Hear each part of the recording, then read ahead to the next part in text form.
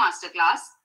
Without wasting any further time, I would like to invite our speaker for today's masterclass, Dr. Mayur Parihar, Senior Consultant, Lab Hematology and Molecular Pathology, Head, Department of Cytogenetics, TMC Kolkata, PI and Clinical Scientist at Tata Translational Cancer Research Center, Kolkata.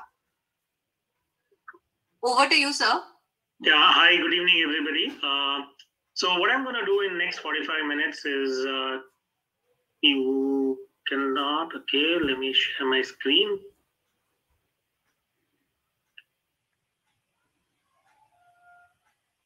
I hope my slides are visible. Yes, sir, it is visible. Just click on the slideshow so that it can be visible. Yeah.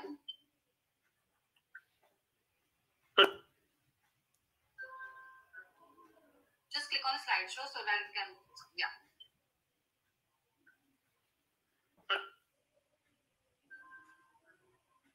Just click on the slideshow so that it can be visible. Yeah.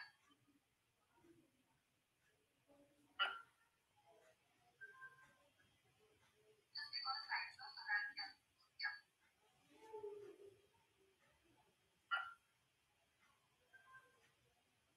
Just click on the slideshow so that it can be visible. Yeah.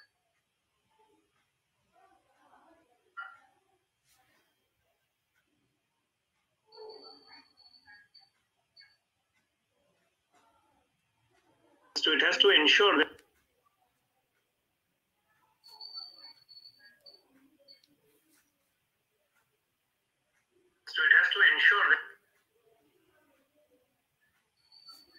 that's that that it's it is in the form of a thread within the nucleus. And as the cell starts dividing it is not possible to actually you know divide this thread like material uh, into two equal halves in uh, among the dividing cells. So what happens is the dna starts condensing itself as the cell divides and then it forms condensed bodies what are called as chromosomes. Now these chromosomes are visible only during the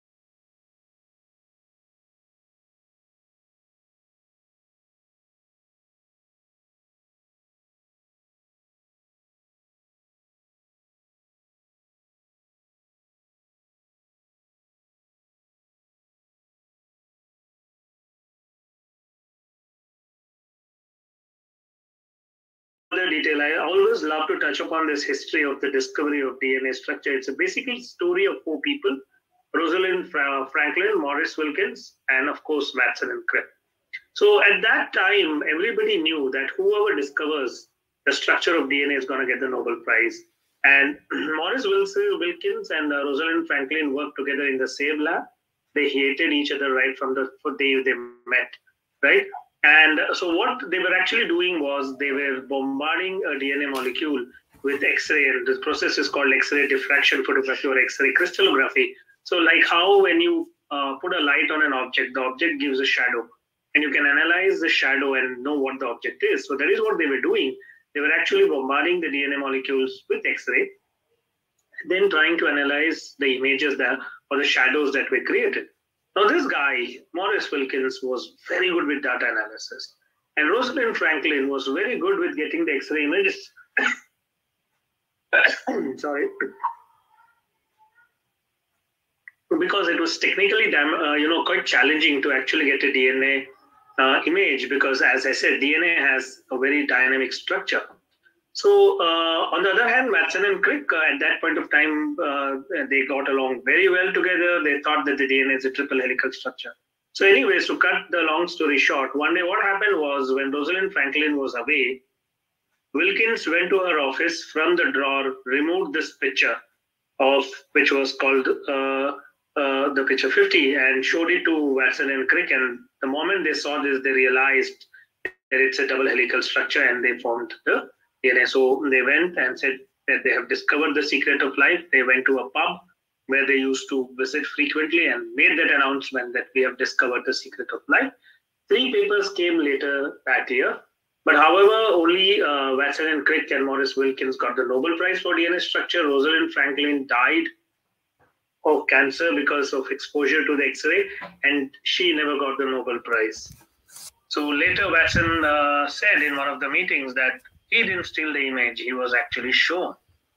But what this did was, once the structure of DNA was identified, what you see here is an image from science where about 150 years of nature papers have been displayed. So each dot is a paper, uh, a published paper, and how these papers connect with each other uh, if a paper has actually uh, referred to a work, it's connected to it. And, uh, and those papers which have been used as a reference lie below it.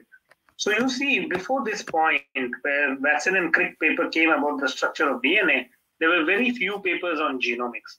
So Watson and Crick referred to a lot of papers in order to describe the structure of DNA. And once that was discovered, there was a huge change in understanding the DNA, understanding the biology, and that in, in developing technologies. And then you can see there's a fountain of papers that came on genomics. So when you go practically to a lab, what are the genomic techniques that are available? Karyotyping is nothing but you look at all the chromosomes. It is a whole genome of a single cell. You can pick up ploidies, that is gains or losses of chromosomes. You can pick up translocations. You can pick up structural abnormalities. Fish, you use a specific probe. So whatever question you are asking, it will answer only that. You can do single nucleotide polymorphisms, which is like a digital karyotype. It helps you to identify copy number changes, structural abnormalities. And of course, we have high throughput sequencing and focused or targeted sequencing. So when I look at it as a pathologist, I would like to divide these techniques into those that are microscopic based and those which cannot be identified by human eyes. So karyotyping in fish, which is usually the routine bread and butter of a cytogenetic lab, are a microscopic based technique wherein you use microscope to look at the chromosomes and you use fish and you know you can actually look at the genes which are, are using fluorescent probes. And the submicroscopic abnormalities you have the copy number alterations which means gains or loss of genomic material. You could do snp arrays or a targeted screening in the form of MLPA, or you could look at mutations that could be targeted or a whole genome level. Now, you must understand one basic concept which lab does what. So, a cytogenetic lab studies structural chromosomal abnormalities, it does gene subbinding, fish arrays, etc. And a molecular lab actually goes deeper and looks at the nucleotides, so it does PCRs and sequencing and so on. Molecular cytogenetics is a marriage between conventional cytogenetic and molecular techniques, wherein you use you, you can use probes or sequences of nucleotides to do your cytogenetic study. And the molecular cytogenetic techniques are FISH. I will talk about this in detail as we go ahead. Multicolor FISH, spectral karyotyping, comparative genomic hybridization, and SNP arrays. Now, usually karyotyping in fish are the routine uh, techniques that are used in a diagnostic laboratory. What is the difference between the two? Karyotype is, as I said, the whole genome of a single cell. You can actually look at all the chromosomes. You can look at the whole genome. You can identify for if there is a clonal evolution, if there are multiple abnormalities. Whereas fish will only answer the question you are asking. So you use specific probes and you ask a question, is BCR-ABL present or absent? Fish will just give you that information that it is present or absent. It will not say, it will just say positive or negative. It will not give you information as to what is happening at the other part of the genome. So conventional cytogenetics is karyotyping. Usually, uh, you know, for hematological malignancies, we use bone marrow. As I said, chromosomes are visible only during metaphase. And that is why for conventional karyotyping, you need live cells and hence the samples have to be transported immediately or as soon as possible. They shouldn't be frozen. You need fresh samples here. And what we do is we culture the cells to get the metaphases. You need to understand that in a bone marrow, the cells are spontaneously proliferating. So you do not add a stimulant. You do a spontaneous culture. You just put the bone marrow in a culture media and let it grow, let the cells divide right? So lymph nodes are solid tumors, and in constitutional abnormalities, coronavirus, they have spontaneously proliferated. Well, however, if you need to know a constitutional uh, karyotype, uh, you need to stimulate cells. So you take a peripheral blood, you stimulate the peripheral blood lymphocytes by using PHA, which usually stimulates the T lymphocytes, and you get metaphases. If you want to karyotype plasma of CLL, you will have to use interleukins and interferons to stimulate the B cells to push them into division to look at their chromosomes or, their karyotype. Not send a sample in EDTA for karyotyping because EDTA chelates calcium. And then uh, because I said you need cells to be dividing, you need live cells, uh, EDTA will not work. So peripheral blood uh, should come into, as I said, uh, uh, preservative-free sodium heparin. You could also send lymph node biopsies in hematological malignancies. You can do FNACs, and you can send the aspirate. You can send the pleural fluid. We have also fished CSF.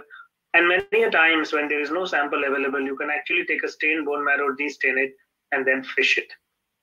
So this is what happens in a conventional karyotyping. The marrow is taken, it's put in a RPMI cell culture, put it in an incubator with 5% carbon dioxide. And as the cells start dividing, the metaphase is arrested using.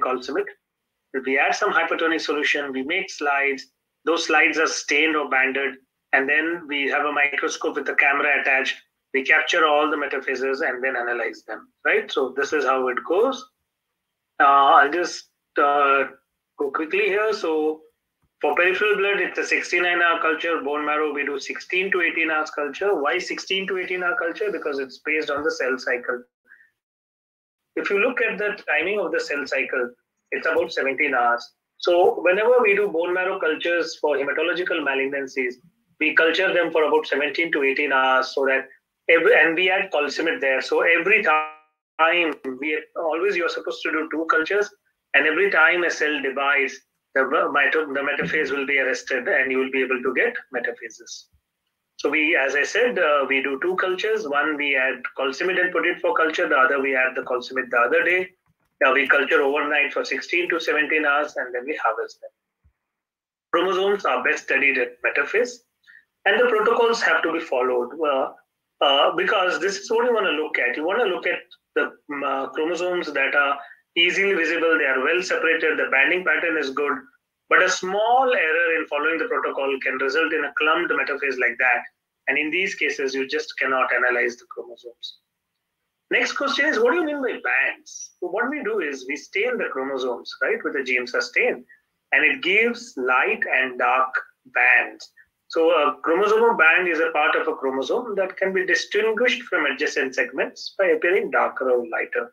It's just like the barcode you see in supermarkets. You scan the barcode and you will get your product. Similarly, a chromosome has, has light and dark bands. Now, you must remember that the light bands have active transcription sites. So the light bands are ones which will produce your RNA and protein, and the dark bands will not. So the more number of light bands a chromosome has means there are more number of genes that are present on them. So you can see here we have a microscope, we have made a slide. There's a camera attached to be capture the metaphases and then this is how the metaphases look. These are the interphase cells. And then we use a software to analyze and each chromosome has its own pattern of light and dark bands. And these chromosomes are based on their banding patterns are arranged. Once they are arranged, so it's, it's like morphology, then you look for changes. You look for structural abnormalities, translocations, deletions, and so on. This is what you see a metaphase from a patient of acute leukemia showing 77 chromosomes, right? Uh, so the first part is to actually arrange the chromosomes, and then you start looking for the banding pattern and just see for any subtle change in banding pattern. The moment there is a change in the banding pattern, you know there is an abnormality, and then you try to find out whether it's a translocation, whether it's a structural abnormality, whether it's a duplication, whether it is inversion, and so on. So, for example, this was a patient of AML showing a translocation 816. Uh, there can be very subtle abnormalities. These are patients of acute myeloid leukemia showing a 3-3 translocation. This is an MLL gene rearrangement showing 11, 19. So you see it's a very subtle arrangement. You look at this 19, it shows a dark band here. This is the only clue you will get. So it's a lot of morphology. It's a very laborious process. You need to go by band by band. You need to identify the abnormalities and you need to pick them up. What is fish? Uh, as I said, fish uh, is a, a, procedure wherein is a technique wherein you ask specific questions. So you just apply the specific probe. So the first part, what you do is we denature the DNA and then we add the probe. And the probe, what it will do is it will find its place to the complementary sequences of the genes we are interested to study and we'll go and hybridize and then we will read the fish signal patterns under the microscope. For example, 922 or BCR ABL, the ABL1 gene, you have a red fluorochrome, and for 22, you have a probe which has a green. So normally, uh, in normal cells, you'll have two copies of every gene. So you'll see two reds and two greens. The moment there is a translocation, the 9 will give to 22, the 22 will give to 9, you will see yellow signals. So that is how we look at, uh, you know, dual color, dual fusion signal patterns. There are uh, different designs of probes that can be used. There are genes like MLL, which are very promiscuous gene. They have at least 100 different partners in 110 different translocations. So how do you design probes for them? So what we do is we use break apart probe, wherein uh, the green and the red are together in a normal gene, and the moment there is a translocation, they get separated. For example, this is a normal cell. You can see the red and green are together here. This is an interphase cell. What you see here is a metaphase. Here you see the red and green have separated. So these are called the break apart probes. This is for MLL or KMT2A gene. And you can see that this is rearranged. This is a metaphase. You can see this is a normal chromosome 11. This is a 10 11 translocation and the two, 3 prime and 5 prime end have separated. Now, what do you do when you have to fish on a solid tumor? You must understand that fish on solid tumor is technically much more demanding. You need to, um, there are a lot of processes that go into place. There are pre-analytical, uh, uh, pre-analytical uh, factors like the fixation, the kind of wax block that is made, the kind of xylene this is, have you used buffered formalin and so on. And it's much more technically demanding. Uh, we look for a lot of rearrangements on solid tumor. Hematological malignancies, we look for triple hit lymphomas, we look for TP53 gene deletions in lymphomas. Uh, we do all kinds of translocations in lymphomas. So these are the pre-analytical recommendations for fish on solid tumors. Now coming to the basics of parts of a chromosome. So chromosome has a short arm called P arm, a long arm which is called U, Q arm, and the centro and a centromere. Now you have metacentric chromosomes, submetacentric, and acrocentric chromosomes. And we do follow an international system of cytogenetic nomenclature, which actually defines how a report has to be given. So whenever we talk about a band, we first write the chromosome number, then the arm symbol, the region number, and the band within that number. So 1P31 indicates chromosome 1, short arm, which is P, region 3, and band 1. we do have banding patterns ideograms, which we follow. When we are doing our reporting, we look at the ideograms and see which bands are involved. And whenever we report in the square brackets, the number of cells that are showing a specific karyotype are mentioned. A lot of short forms have been defined by the ISCN, where DL is deletion, dicentric translocations, isochromosomes, inversions, T is for translocations. So uh, you don't have to go remember all of this, but I'm just saying we do have certain uh, guidelines. So whenever a report is given, we write it in the ISCN format, but we also write the interpretation. Now, what are the types of chromosomal abnormalities? You could have numerical or structural. Numerical are aneuploidies, wherein you can have a loss of a chromosome or a gain of a chromosome. And polyploidy, wherein it's basically just a duplication. So 23 chromosomes becomes uh, 46, 46 chromosomes becomes 69. So multiples of 23 are called polyploidy. And the structural abnormalities include translocations, inversions, insertions, deletions, ring chromosomes, isochromosome, and extrastructural abnormal chromosome. So the examples for aneuploidy are uh, say 45 chromosomes or 47 chromosomes, and polyploidy, as I said, are 69 and 92. Now, let me just go to, uh, skip the slides now. What about the genetic profiling in oncology practice? When do we do genetic profiling in oncology practice? You must understand that some of these tumors, both in hematology and of course in solid tumors, are characterized by their genomic signature. So you can actually identify the abnormality and use that in diagnosis. Or these cytogenetic abnormalities are also used in risk stratification, wherein low risk cytogenetic uh, abnormality patients get a low risk therapy, and those with high risk cytogenetics get a higher therapy. And then, of course, by identifying genomic abnormalities, you have specific drugs like tyrosine kinase inhibitors in Ph positive ALL and so on. In oncology cytogenetics, you need to understand the concept of clone. So, what is a clone? A clone is defined as a cell population derived from a progenitor, and the number of cells that constitute a clone is given in square brackets. So, for example, this is 46 XX translocation 821 in 20 cells. Now, in order to call something abnormal, there should at least be two metaphases showing trisomy. To call something monosomy, you need three cells or three metaphases. To call a structural abnormality, you need two cells right? So many a times I get reports for review across the country, and you see reports like that. Now, whenever you see a report like that, you need to call that lab and ask them, how many cells does the monosomy 7 is present? Because of a technical artifact, if there is only, it can be possible that the, there can be one cell where the chromosome 7 has got scratched off while cleaning the slide. So you need to ask, is it clonal or is it just a random abnormality? How many metaphases have monosomy 7? So this is the kind of report you're looking for, that 7 metaphases have monosomy 7 and 13 metaphases are normal. So whenever you have one metaphase only showing a monosomy, the clonality is not established.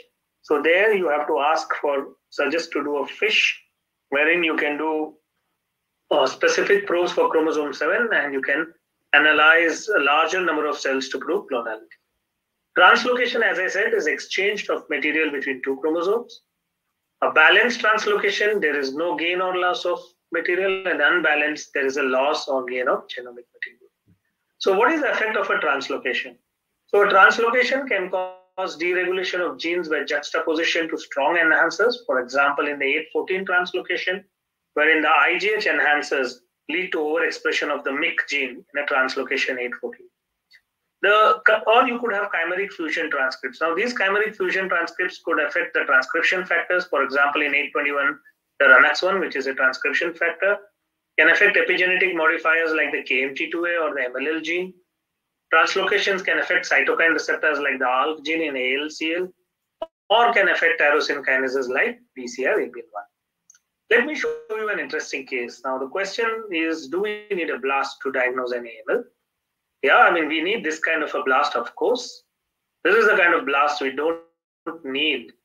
But these are the blasts we see in our hematology labs on a day-to-day basis.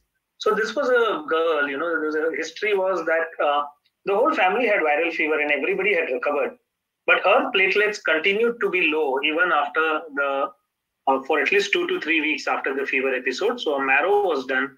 And what marrow showed was a lot of hemophagocytosis, as you can see. This is the macrophage, it has eaten a neutrophil here. Now, in a viral, uh, uh, post-viral, you could see these kind of hemophagocytosis, which is reactive. And we looked, there was some amount of dysplasia present, blasts were less than 5%. A flow cytometry was done and flow cytometry showed some dysplasia, but there was no increase in blast. When we did the karyotyping, we got a translocation 821 with a deletion 90. Now, as all of you know, the WHO's right from 2002 has said that if you have an 821 translocation, it is diagnostic of acute myeloid leukemia, even if blasts are less than 20%. Well, our patient had zero blasts, but we still had to call it an acute myeloid leukemia because the translocation 821 was present.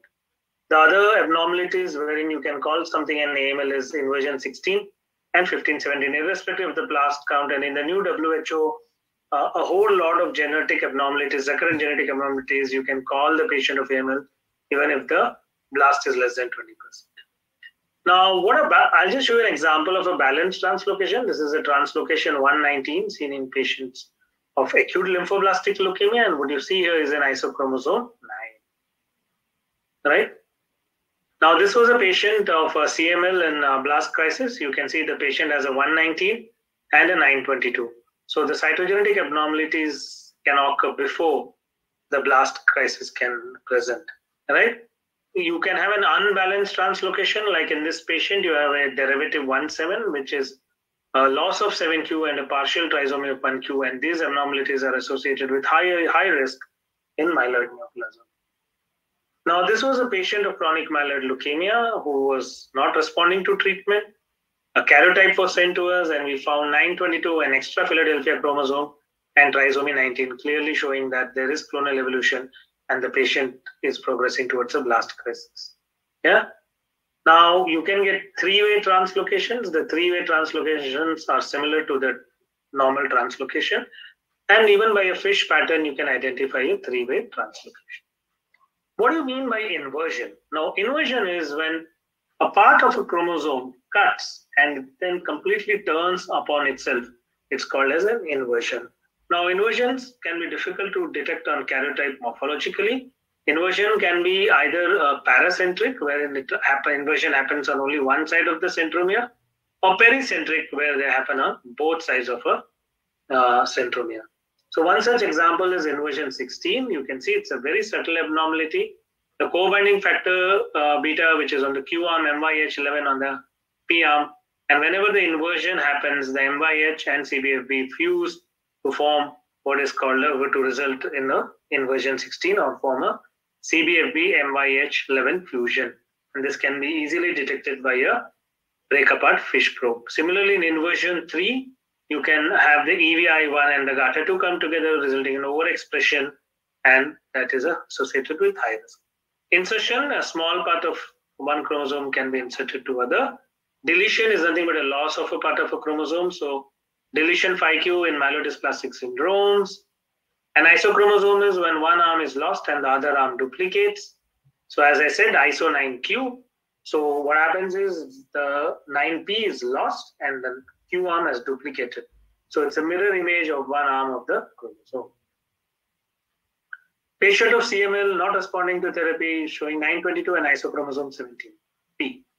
So because of the isochromosome 17q, what has happened is the P arm has got lost. The P arm houses the TP53 gene, resulting in deletion of the TP53 gene. Duplications are when a part of a genome duplicates itself. So duplication one is seen in and there's a derivative 19 translocation 119 here.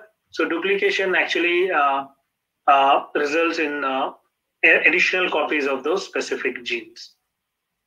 Now, when you look at karyotyping, you also look at clones and subclones. So if you look at this patient, there are six metaphases showing 922 and there are 14 metaphases showing 922 plus trisomy 8.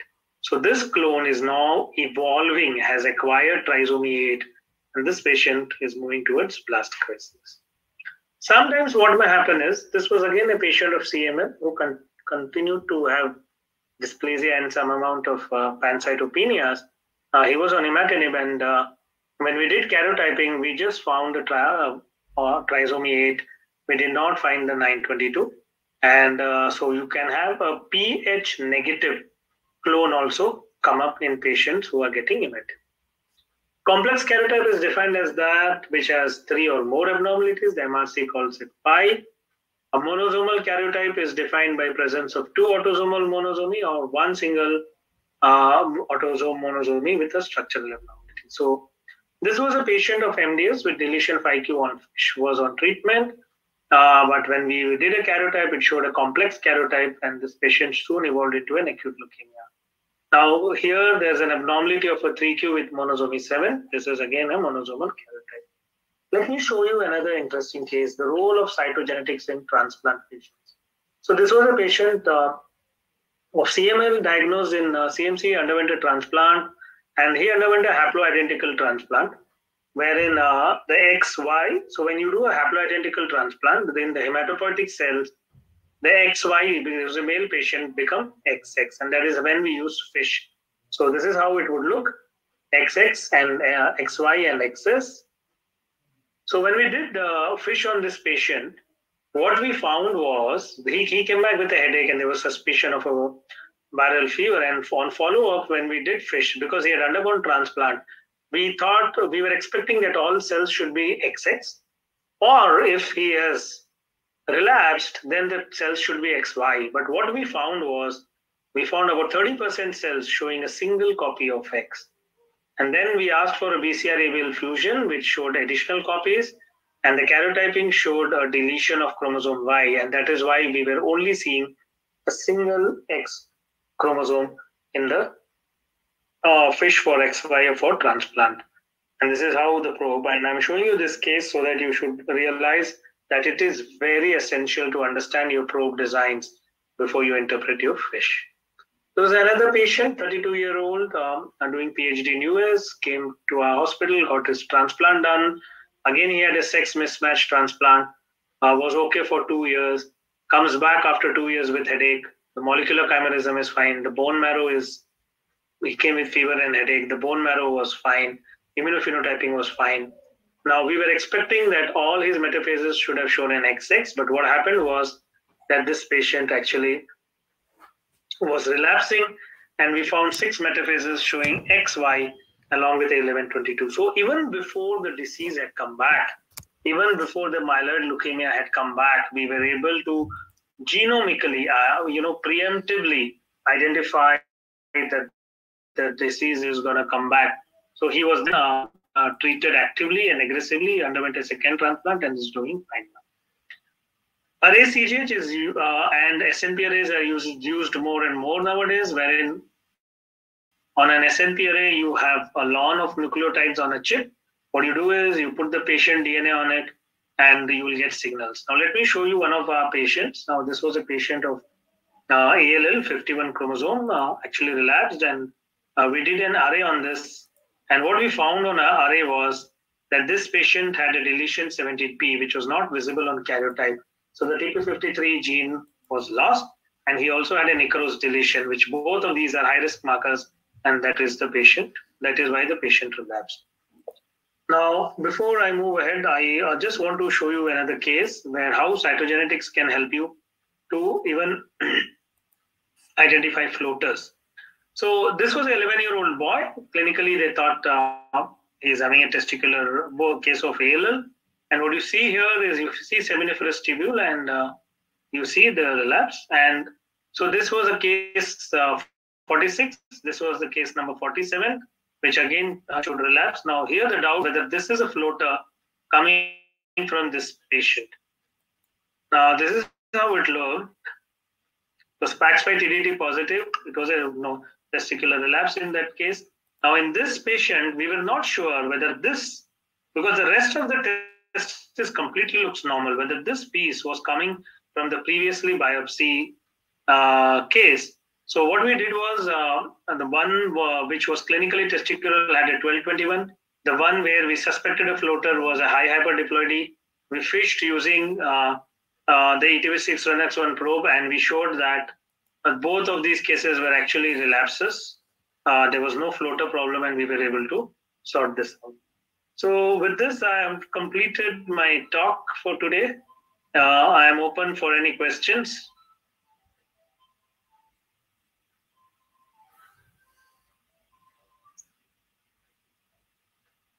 Uh, Dr. Suman, you need to unmute yourself. You can ask question to Dr. Mayur.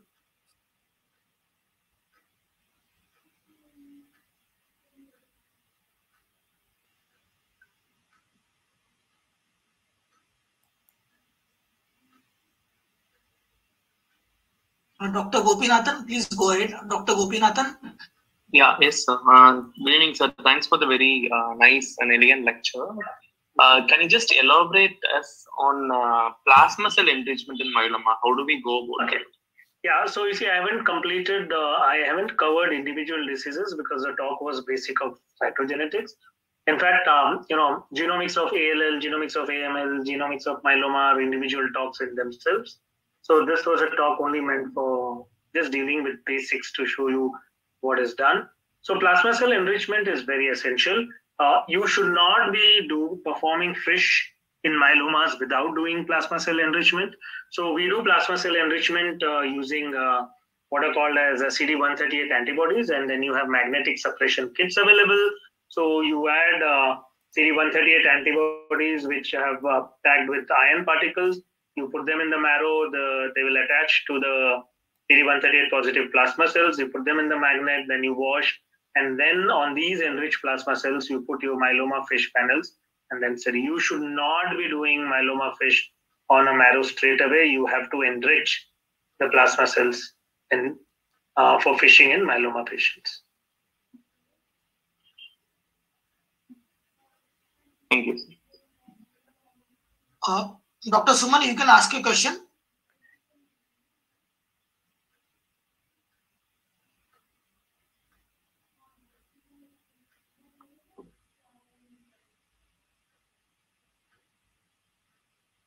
Dr. Zubair, you can ask your question. Well, uh, good evening. Um, thanks for the excellent presentation, Dr. Mayur. Thank you. Uh, um, I just wanted to know about the additional chromosomal abnormalities which occur during the course of CML. Once a patient is diagnosed newly, he doesn't Mhm. have, but uh, when uh, months and years pass by, he develops additional chromosomal abnormalities. So, Mhm. how are these detected by cytogenetics or by fish? So see, uh, you know, in order to uh, look at additional gen- cytogenetic abnormalities, you have to do karyotyping, and on karyotyping you can check. So what we do is, uh, in our hospital, you know, generally the practice is we do not do karyotyping on every CML patient at diagnosis. We just fish them from peripheral blood because karyotyping requires a marrow, and the diagnosis is given. Now, suppose the patient is not responding to treatment or comes with low platelet counts, or the response to imatinib has been suboptimal. That is when a marrow is done and then we do karyotyping. And uh, by karyotyping, in most of these patients where they've suspected that something is amiss, we have identified additional abnormalities. Now, these additional abnormalities, as I said, could either be subclonal and they could be present along with 922, or you could sometimes get clones because imatinib would have killed the cells with 922, and then you can get clones which are Ph negative, you know, Philadelphia negative, and you identify them. And this kind of then gives you an idea about uh, that uh, the cytogenetic abnormalities actually occur much before the uh, overt blast crisis happens. Yeah.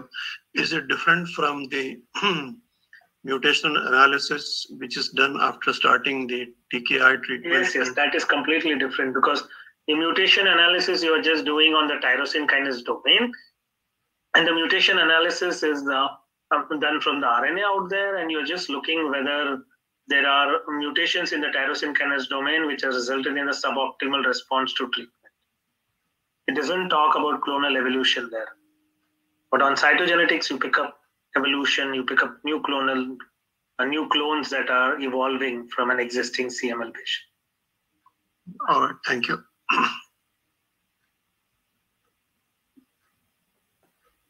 Any more questions, delegates?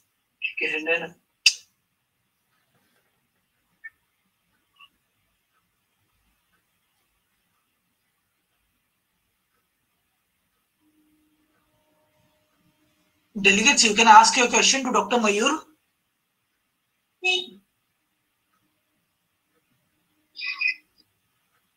Yeah.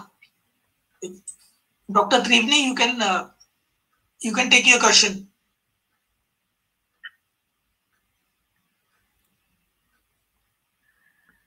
Dr. Triveni, please unmute yourself. Sir, very good evening, sir. Hi, good evening. Tell Uh, sir, uh, sir, that was a fantastic information, sir, uh, for this particular evening. Thank you. Uh, uh, sir, can you please elaborate on the application part of it, uh, sir? So that what is the scope area for the current research? Uh, definitely, yes, uh, in oncology studies and leukemia, yes, sir. But apart from that, is there any other focus area so that we can work on this particular? No, so see, it is it is very simple. Uh, now, a lot of molecular cytogenetic techniques are available, right? So, uh, the cytogenetics, you know, karyotyping is usually done only for hematological malignancies.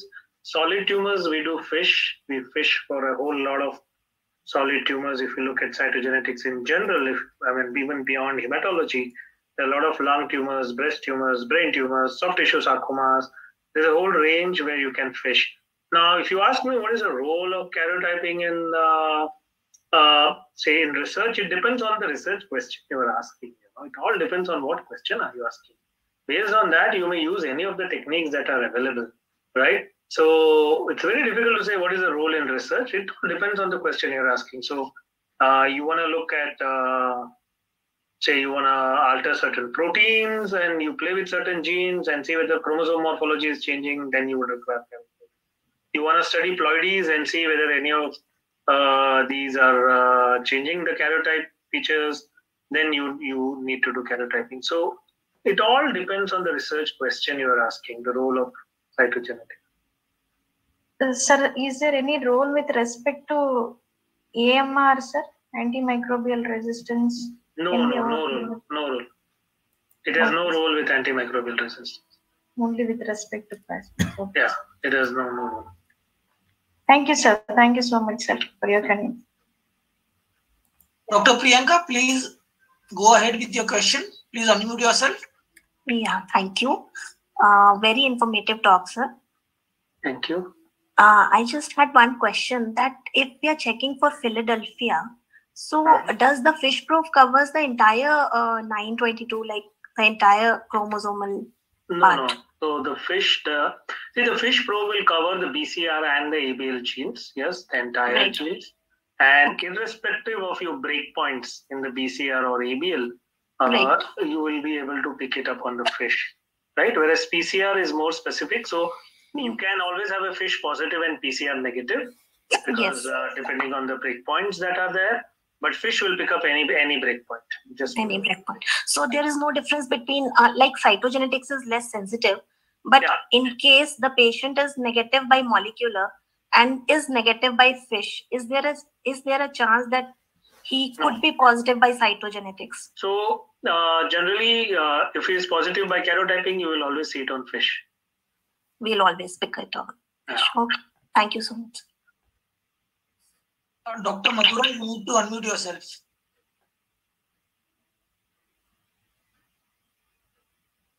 Dr. Madhura, please ask your question.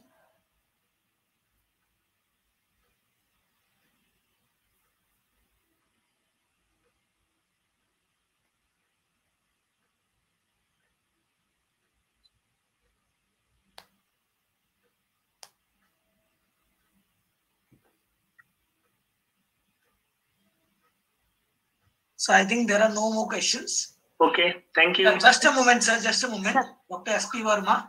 Yeah, yeah, please, please go ahead. Uh, sir, excuse me, sir. Yeah, tell me, Triveni.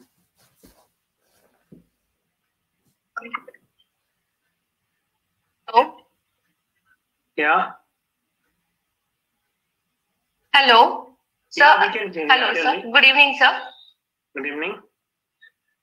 Sir, sir, can you please explain the concept of loss of heterozygosity and its uh, implication pathological disorders, sir, please? Okay. So now, what do you mean by lo- loss of heterozygosity? What do you mean by heterozygosity? Okay. Now you have two copies of a gene. Okay. Now, uh, suppose one copy of the gene is lost. Suppose there is a deletion. There's a lot loss of heterozygosity. One is mutation, still a loss of heterozygosity. Now there is something called as a copy neutral loss of heterozygosity, right? A CNLOH, a copy neutral loss of heterozygosity means that there is uniparental isodisomy for that gene. So what has happened is that there are two copies of the gene. One gene has got deleted, and the other gene has duplicated itself. You know, and that is why you are having both the genes coming from same parent. So usually you have one gene coming from your mother, paternal origin, one coming from the uh, maternal origin. So in copy neutral loss of heterozygosity, what happens is both genes are coming from the same origin. Now, what happens in uh, tumors is that uniparental isodisomy or copy neutral loss of heterozygosity is one mechanism wherein a heterozygous mutation can become homozygous. For example, and this is usually seen in myeloproliferative neoplasms, you know, you, uh, in terms of your JAK2 mutations on short arm of chromosome 9. So you have two two JAK2 genes. One has got mutated, one is normal. Now the normal one has got deleted, and the mutated gene can then duplicate itself. And so what will happen is you will have a homozygous mutation. So that is called as copy neutral loss of heterozygosity. Is seen in various tumors as a mechanism uh, to uh, give selective advantage to tumor cells and promote growth. Yeah, Did, does that answer your question? Uh, thank you, sir. But uh, but uh, does it carry any significance in catching up uh, some rare cases of aplastic anemia? I have read one article where the loss of heterozygosity of 6p was found Yeah. to be associated with aplastic anemia. Of Which course, was- see, it is used in various tumors. Now, sometimes what may happen is uh, uh, because of uh, copy neutral loss of heterozygosity, even in Fanconi's, it may so happen in aplastic anemia that uh, uh, you can have uh, a phenotypic uh, nature's gene therapy where it can result in the reversal of the disease. Okay, so that is also possible. So your abnormal gene is got deleted and the normal is duplicated and replaced it. So that also happens. Okay. So it has a role in Oh, okay. yeah, can be seen in aplastic anemias, is seen in myeloproliferative neoplasms, seen in acute lymphoblastic leukemias. So the mechanism based on the gene it involves and based on the whether the copy neutral loss of heterozygosity has resulted in loss of the gene which is mutated or duplication of the gene that has mutation, the, phe- the phenotypic effect may vary. Okay, sir. Thank you, sir. Thank you so much. Sir, excuse me, sir. One last question, sir. Yeah, tell me, kindly- tell me, tell me. Uh, sir, uh, uh, in your lecture, uh, so it is very much clear that we could able to predict in few of the cases if at all any particular cancer is going to reoccur. Yeah. w- will it uh, answer in any case with respect to autoimmune diseases, sir? No, no, no, no. Karyotyping will not, cytogenetics will not help in uh, predicting your autoimmune diseases. No. You can do sequencing and look at certain polymorphisms that may be associated with certain autoimmune diseases, but not in cytogenetics. Uh, Dr. Okay, Mayur, sir. Thank you, sir. Yes. uh, Dr. Mayur, it was an amazing lecture. You started from the history, then the basics, and then you went to the complexities.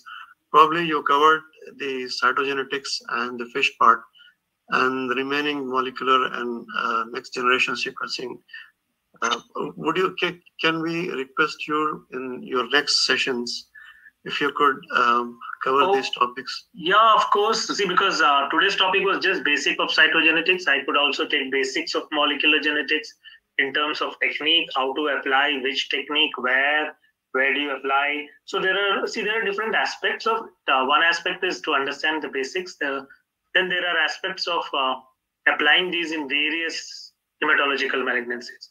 So say AML role of genomics, myelodysplastic role of genomics, myeloma role of genomics, acute lymphoblastic leukemia. So each of them is one hour talk. Yeah.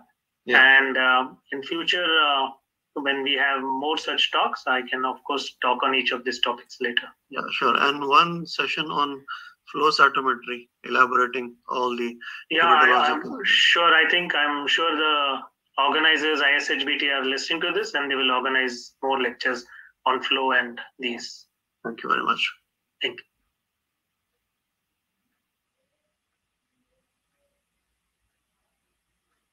Uh, Okay, I think if there are no more yeah, questions, yes, yes, yes. yeah. Dr. Mayur, thank you very much for Thank a you. wonderful talk. Thank you. very much. Thank you. And thank you all the delegates for coming. thank you everybody for Thank you, sir.